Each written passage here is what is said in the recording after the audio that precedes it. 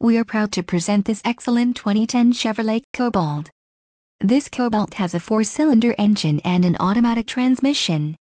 This vehicle has a Victory Red exterior and includes the following options, air conditioning, center console, full, clock, in radio, daytime running lights, dusk sensing headlights, external temperature display, front seat type, bucket, front wheel drive. Contact our internet sales staff today to schedule an appointment.